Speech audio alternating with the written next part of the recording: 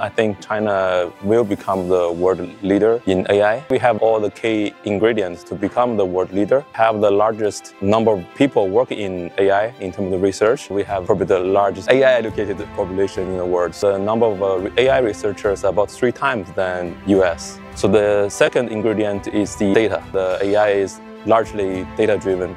So China has the largest application market for AI. In the foreseeable future, the most of the AI valued data will come from China. We will take this advantage because the world leader in AI. The third point is the AI infrastructure. With all the data we need to commute, we need to transmit them in terms of the infrastructure. China has the world's most advanced data infrastructure.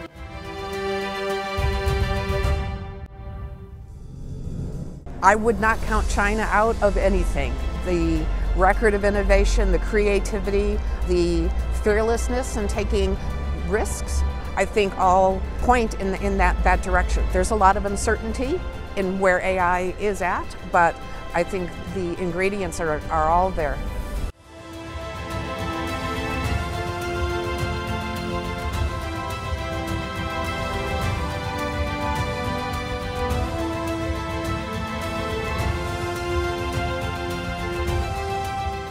I've been so impressed at the level of innovation and creativity and risk taking. We're going to see innovations in these in responsible tech coming from China as a result of that.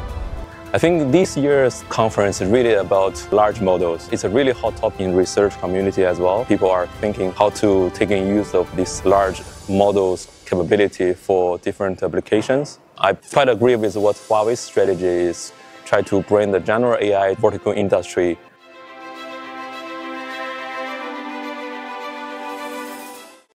The first key is to make sure that certainly for the time being, you keep the human in the loop.